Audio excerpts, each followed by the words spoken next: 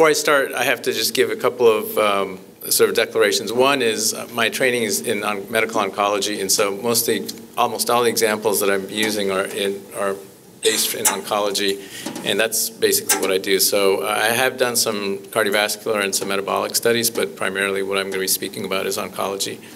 Um, the second thing is I'm not a statistician, as you'll know, but I've had the good fortune of working with some very good ones, uh, both at Pfizer as well as at Novartis and BMS. And I think what what's been impressed upon me is really that given the kind of problems that we're facing clinically in terms of developing our drugs, um, I'm fortunate in the group that I'm in here at Pfizer, in, in, our early development group, that we are actually very open to using novel ideas and novel ways of thinking about things. And for example, the whole discussion in dose escalation, we have one trial that's using MTPI, we have one trial that's using CRM. We've gotten away from using 3 plus 3, and so in our group at least, I think we are very open to um, thinking about what other ways we can do this better. So having said that, I'm going to um, first talk a little bit about, um, just give a very high overview again from a clinical perspective or a clinical oncology perspective about the drug development uh, paradigm in, a sense. And then specifically talk about POC or clinical uh, proof of concept and, and talk about defining it because I think it really, um, it's, if you ask you know 10 different people in early development what POC means, you're likely to get about six different answers because it really is um, it, different from perspective that you're coming from. And it may be that they're all six of them are correct based on where they're coming from.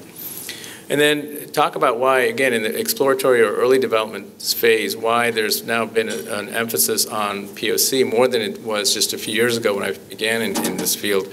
Um, and, and and, and there's some very interesting data from an economic standpoint, from, from patient selection standpoint as to why this is happening. And then talk a little bit about patient selection strategies and some uh, considerations for adaptive designs and things like this, and then end up with some sort of practical implications that we face from the clinical side um, in trying to implement some of these great statistical ideas.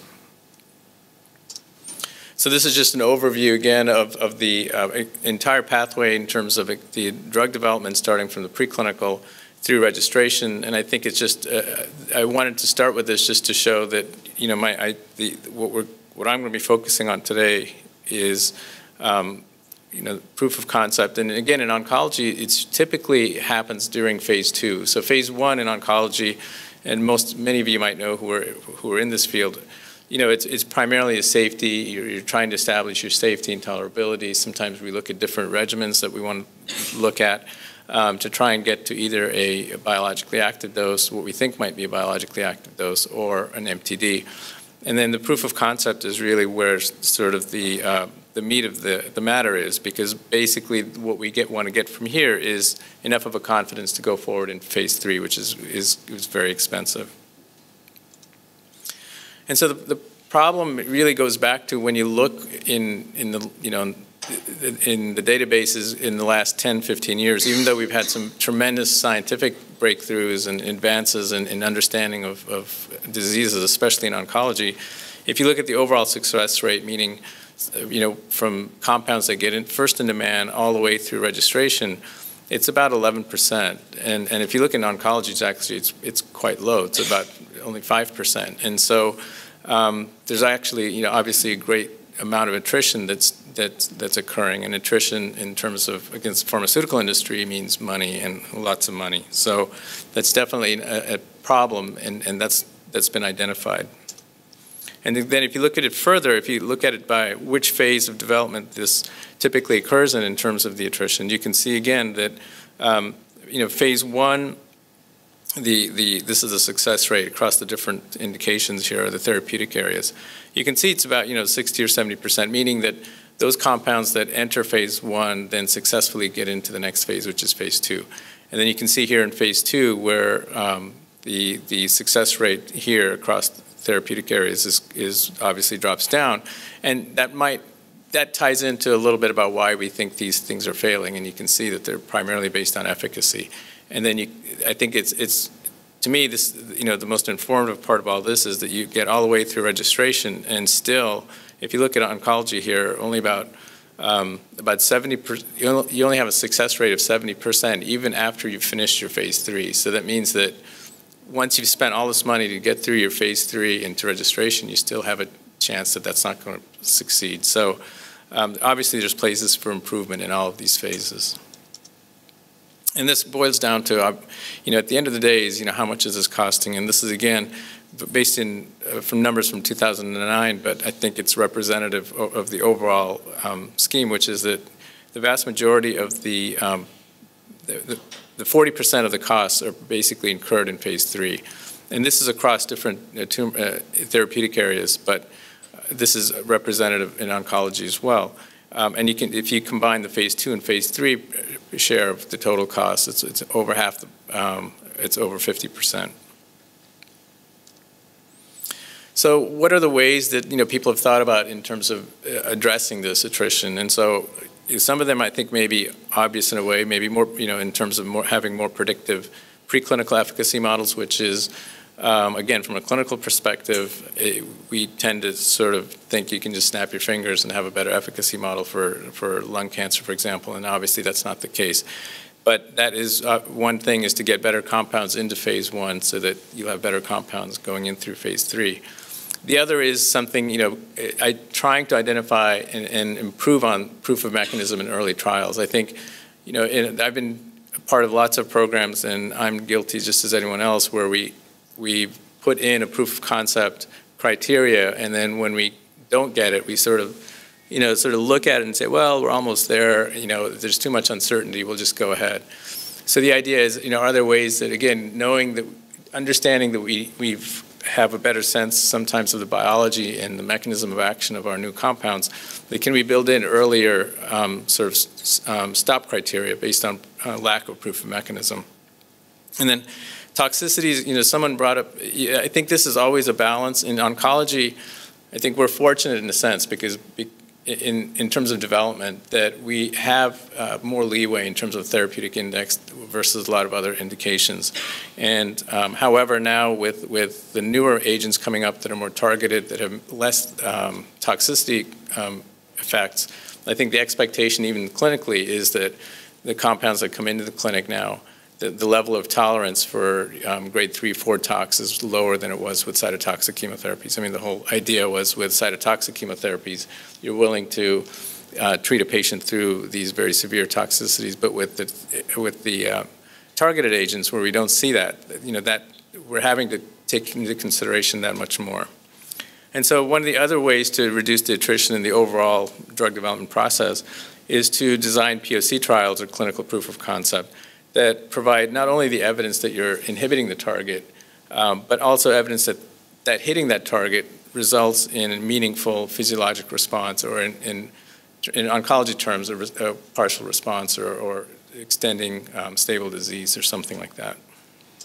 And so this goes to, you know, how do you define proof of concept? And I think like I mentioned, it means different things to different people, but I, I like this definition because I think it encompasses the tr true sense of this, which is that it's the earliest point in drug development where the evidence, weight of evidence suggests that it's reasonably likely that the key attributes for success are present and the key causes of failure absent. So it leaves it very open um, because it is such a hard thing to define. And, you know, and I've, at Pfizer, when I first started, we used to have these very sort of tight criteria as to what our POC criteria needed to be, regardless of the mechanism of action, regardless of the type of um, indication we were going in.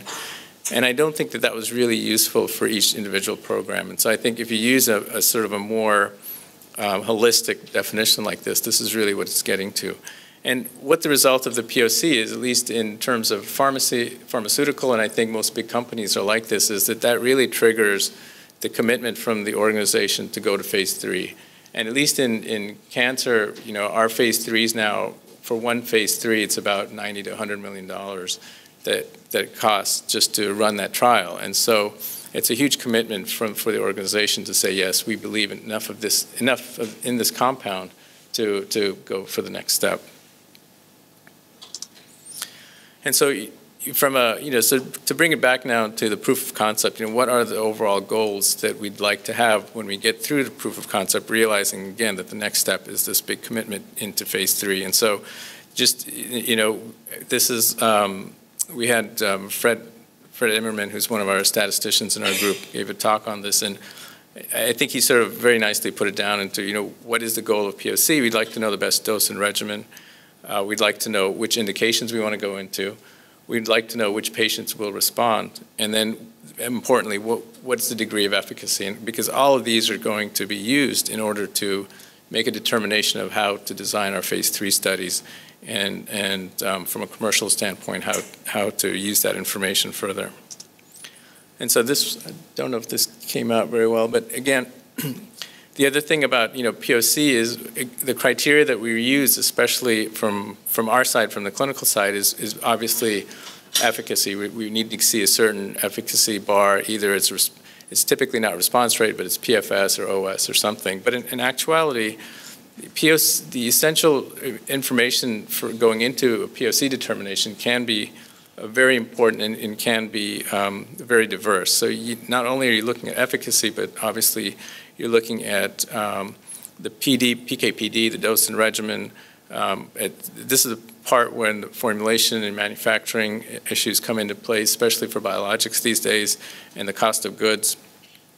Um, and we talked a little bit about the safety. The, the one point was about the commercial. So POC is also a very important milestone from a commercial standpoint because this is when the commercial group is able to sort of focus on how this will be differentiated in the clinic, um, more and more how it'll be reimbursed, uh, uh not just in the U not just ex-US, but even in the U.S. now. We're we're hearing that insurance companies and third-party payers are not paying or not reimbursing um, like they used to in the past. So it's getting to be a much more uh, important issue. Um, and obviously regulatory as well. This is once you get to POC, the regulatory um, group has to uh, get involved in terms of what which indications, whether they're approvable or not, are the endpoints acceptable for um, again not just the FDA but ex-US because obviously now most of our programs are global. And then the other, I think, important point that we spend a lot of time on in our group is, you know, what's the decision criteria for POC? It's nice to have all of these um, it's nice to think about all these different um, ways that POC matters, but at the end of the day, if you don't have a really good decision criteria that's very clear, that's agreed upon by everybody, then that's what gets to problems later on. And so this is just an example of how, how we do things, or um, which is to, to, look, you know, just pre a priori before the before we even get the study approved. We have negotiations with the late stage group, with even commercial and marketing to come up with the criteria for POC that, that's agreeable to everybody, meaning that if we, you know, if we get to, if we are able to achieve this criteria, then it, we're going forward into the phase three study. And in terms of oncology POC trials, again, there's no really one size fits all. I think that typically we like to do um, randomized studies, and just because I think it gives us a better sense of confidence that what you're seeing is a, a true signal. But there are cases where we've done single arm trials for POC where, for example, in um, we had a compound that was in early stage breast cancer, so in the neoadjuvant setting, where it was a biological endpoint that was thought to be a POC type endpoint, and that that was able to be done with a single arm experience. I think the endpoints also are a great um, point of discussion. Obviously, ideally, you'd like to have the same endpoints in your POC study that you were going to have for phase three and for registration. Sometimes, again, I'm, I'm thinking specifically of a, a, program now, again, in first-line metastatic breast cancer, where you know the median PFS is getting to be about 20 months. And so if you're thinking about doing a POC study with PFS as an endpoint in that setting, you're talking about a four or five year clinical trial before you even think about getting into phase three. And with the competitive nature that we're in, we're trying to see other composite endpoints. Are there other endpoints that would give us enough of a confidence that, that, that they would predict enough for, um, for, for OS, but, uh, but wouldn't take as long? So that's always something that we've uh, been struggling with as well. And typically in you know, most randomized phase two studies, these are, uh, we typically settle on, on this kind of statistic, statistical power, and with about 75 to 100 patients per arm is sort of where we've been settling on the, the last few years in the POC studies that I've been involved with. Now, I was saying before, you know, when, when people have looked at the specific reasons within phase two or POC studies why they fail, you can see that a majority of them are due to lack of efficacy. Um, and so the, so obviously the, the thoughts are, you know, how do we improve upon this so that we can uh, improve the overall attrition rate? And so again, in oncology, with, with the recent um, types of compounds that are coming out, which are more targeted, we are developing drugs now which we know what the target is, and we, we think that, at least on preclinical models, that if you inhibit this target, you should have a good response.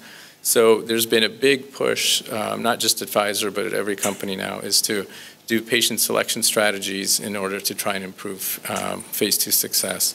And this basically boils down to trying to identify patients who are most likely to respond.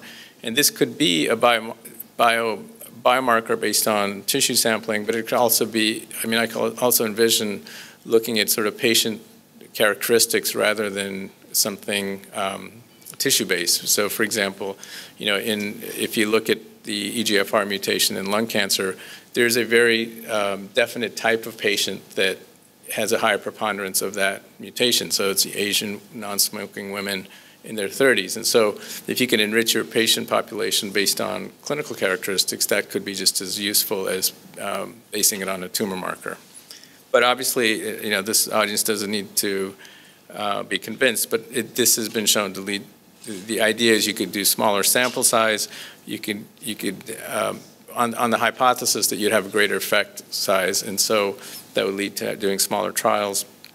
And importantly, from a clinical standpoint, it would avoid treating lots of patients who don't have an opportunity to uh, benefit from it. The three, I think, main factors, though, in, in terms of how successful or not you might be are one is, again, this may be stating the obvious, but it's unbelievable when you're talking in, in clinical settings or in you know, upper management how these sort of things people don't really think about, which is, okay, what's the prevalence of the marker? I mean, it's a big difference if you're talking about 2% of ovarian cancer versus 80% of ovarian cancer that have the marker. So your strategy is going to change, obviously, quite dramatically for that. The second thing is the effect size. Like I said, if, you, if your response rate only improves from 20% to 25%, that's a very different approach than if it's moving from 20% to 80% in your selected population. And then the third part, which is through um, my experiences very recently, um, it has been about the diagnostic assay. I think that, again, if we're using, if we are expecting to use um, tumor markers or circulating markers, there is a very long and arduous uh, diagnostic assay component that needs to be thought about very early when you first get into the clinic. And um, that, I think, again, is just starting to get appreciated now um, because of, of experiences. And then, you know, in terms of patient selection strategies, again, is when I think people think of it in different ways. So obviously there's a way you can do it would be prospective selection. So you'd only treat patients that have the biomarker and exclude patients that don't have the biomarker. And this, of course, requires great confidence that the biomarker is predictive of outcome. And honestly, with all the biology and all the understanding that we have of different signaling pathways, I, I can, you could probably name on one hand in oncology how many, you know, that, how many biomarkers there are that have really been, been proven or validated to be predictive of outcome. Um, and we went through this exercise with this. And um, it's, it's, so that's really something that needs to be um, thought about very carefully. In terms of the retrospective analysis, I think this was raised before, which is, you know, the danger is that, again, based on the prevalence and your effect size, there's a very good chance that you may be diluting out your actual response that you might be having.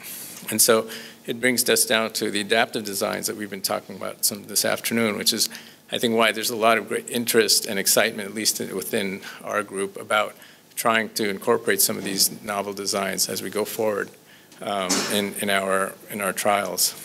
And this is just a, I found this very interesting. So there was this review paper where they actually looked at prior examples of how patient selection strategies were done and tried to uh, put a dollar value on it. And basically, the, they looked at two different um, scenarios in, within cancer. One was Herceptin or trastuzumab, which is uh, for um, HER2-positive breast cancer, in which case, at least in the adjuvant setting, the development was done in a prospective way. So they only selected patients who were HER2 and, and they did their trials that way. The other um, scenario that they examined was, was panitumumab, which is an EGFR inhibitor that was approved for colorectal cancer. But it was, it, it was approved for colorectal cancer in EGFR positive patients. But after it was approved, they found out that actually patients whose tumors were KRAS uh, mutant did not, um, that, that the drug was ineffective in those patients. And so the label got changed after it got approved.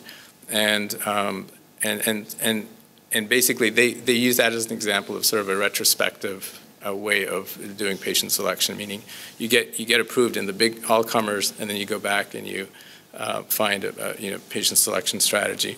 And just the take home point was if you just look at the graphs that the biomarker only strategy, if you look at the ENPV, which is the effective, um, um, um, and ENPV is, I always get these, thank you, net present value.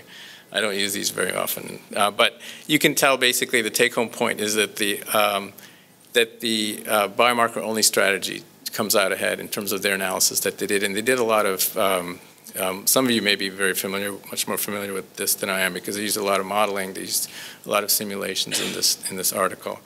Um, so anyway, just the point being that the, the prospective uh, way is, is, seems to be a better way of doing things in terms of net present value. And then I think that this is also an interesting um, example was in, in, in um, cancer again is from first line non-small cell lung cancer. Um, gefitinib, which is a, um, again, an EGFR inhibitor, when, when it first came out back in, I guess in the late 90s, there was a lot of excitement because it was thought to be the first targeted agent, that it was going to be, um, you know, in lung cancer, which there was really being treated with standard chemotherapy, as you can see in the top. So they did uh, all comers um, phase three studies, and you can see here the number of patients that were enrolled, and there were four different phase three studies, one, two with gefitinib and two with erlotinib, which was uh, another EGFR inhibitor. You can see the numbers of patients that it took, and eventually um, there was no improvement versus chemotherapy. So neither gefitinib nor erlotinib got approved in first-line lung cancer. What they did was, though, when they retrospectively took a look at those patients, they found that actually in, in, patients that had EGFR mutations in their lung cancer, that those patients actually had a higher response rate than the overall population. So then they went back and they did prospectively, they only did EGFR positive mutated uh, patients. And you can see that you can see, first of all, the effect size in the selected population. And, and you can see, again, in this translated into progression-free survival and overall survival. And interestingly, you can see the sample size of what they needed to get this done. So this is sort of a, uh, um, a very good example, I think, as a teaching point to say that this potential for, for selecting patients really is. And then this sort of leads to, I guess I have to plug Pfizer a little bit, is um, the crizotinib story or the ALK story, where very early we found that, that, um, the team found that patients who had ALK rearrangements in their, in their lung cancer did tremendously well in their first studies. And so the entire development program for that compound has been limited to those patients who have the ALK rearrangements. And you can see how well they've been doing. And they, that compound got approved last year, and, and, subsequent to that, there's a Novartis compound called ceritinib, it also got approved in second line. So, uh, so the just again, just to sort of take home, make home the point about the adopt, adoptive POC studies, is it's very hard sometimes, especially with novel agents and novel targets, to know whether the biomarker is going to be predictive of outcome. And that's almost uh, sort of a catch-22 because you really don't know if it's predictive until you do the phase three study. So you're only sort of guessing from, from preclinical models and from similar compounds. And so it's very difficult to think prospectively to commit to that. Um, also, this has been more and more of a, a, an issue, which is that health authorities now are also requiring at some point in your development that you at least show that the, the compound doesn't work in the biomarker negative patients. And so um, that's something that we always have to keep in mind. And of course, by, um, by not doing a retrospective view, you could avoid diluting the signal. And so this, I think, is my second to last slide, or my last slide, because this sort of comes down to, you know, what are the practical considerations? And again, I think that um, these are things that when, you know, I'm writing a protocol or, or talking to investigators or talking more with the operations people about operational feasibility, these are the kind of things that, that always come up. So one of them is, you know, uh, if you're using a tissue-based biomarker for patient selection, um, in solid tumor patients, it's very difficult, no matter what people tell you, to get serial biopsies, to even get a baseline biopsy. It, you may be able to do it, but it's going to affect your accrual time. It's going to affect the type of patients that you get on study. Um, so that, and I think there's been a lot of um, very interesting work trying to find surrogate markers of circulating DNA or circulating tumor cells to get around this. the other point, as I mentioned before, was about the need for CLIA-certified assays for patient selection. And you know, we've, this is actually a regulatory issue where if you're using the assay to select patients for therapy, then the FDA requires you to file, file an IDE, which requires more paperwork and, and sort of more planning from, from the very beginning. So that's something that uh, is is being looked at. I think this is something which is, again, a universal problem with novel targets and novel compounds is when you're trying to um, trying to stratify, you know, what are your cutoffs for biomarker expression? And you can you can you can imagine that that's not an easy thing to do, especially when you don't have outcomes data. So you don't know what's your high and low. And so in the in the programs that I'm dealing with right now, we've sort of arbitrarily gone to sort of tertiles and saying, if you know, we'll take these the top third as being high expressors, medium expressors, and low expressors, and um, of course that'll be have, have, to be validated in the clinic in the subsequent studies. But um, this is something that, and it's very very tricky because I think that, you know based on preclinical data, it's very I think risky to to put too much into that. Um, the prevalence issue that we talked about, you know, typically the way we've been addressing this is to go and try and get um, tissue samples from uh, tissue banks. The problem there is, as a lot of time is, um, again, something very practical issue is a lot of the tissue banks have tissues that are from patients at diagnosis, so they're sort of their primary tumors. But when we do our phase two studies and our POC studies, most likely we go in patients that have metastatic disease or end-stage disease. And the question is always, when you're treating a patient um, in phase two, it, whatever marker you're looking for, is it the same? Is it consistent with what they had at diagnosis? Because you know, there's they call it antigen drift, and for HER2 and for some other markers, they've looked at that where when you look at patients' samples from from diagnosis to metastasis, they oftentimes change. And so trying to sort of pin down what the prevalence is can be very tricky because not, not only are you looking at the prevalence in the tumor type, but you may be looking at what stage of disease are you looking at, and the prevalence might change in different stages. Um, again, the correlation between outcome is, is something we talked about. And then the, the last point is, you know, with these adaptive designs, um, anytime that you're doing a large clinical trial, and so all of these are, are typically we do I don't know, 25 or 30 sites, um, global studies, it's very difficult to have a long, prolonged um, stoppage. If, if, because if it's going to take you six months to analyze the data before you can tell, you know, which way to go, um, that's when you basically are in a lot of trouble because the, the sites, for them to just stop everything and not think about your study for six months and then six months later to all of a sudden get started again and start putting patients on, it's, it's a very, very uh, significant problem. So I think that you know these these adaptive trial designs, we we need to figure a way to either use different endpoints from what we want, you know, quicker endpoint, or um, to do it in a way that that doesn't slow down or doesn't stop accrual, ideally. So in summary and conclusion, uh, what, what I've been talking about is really what the problem is that's being trying to be addressed is what the high cost of attrition in phase three. And this is shifting the emphasis to, to try and design better phase two trials and obviously better compounds coming into the clinic. But for our group is to think about how we can improve our phase two POC studies. Um, and uh, along with that is, is, like I mentioned, the POC component. Actually, our group, that's our whole remit, is to get compounds from first in human through POC. And so we obviously spend a lot of time thinking about it. Um, And based on that, you know, in- in- as I mentioned, because of the types of compounds we are developing now and the types of drugs that are coming up through the, through the pipeline, there's really been, has been a a significant shift towards more pro- prospective patient selection.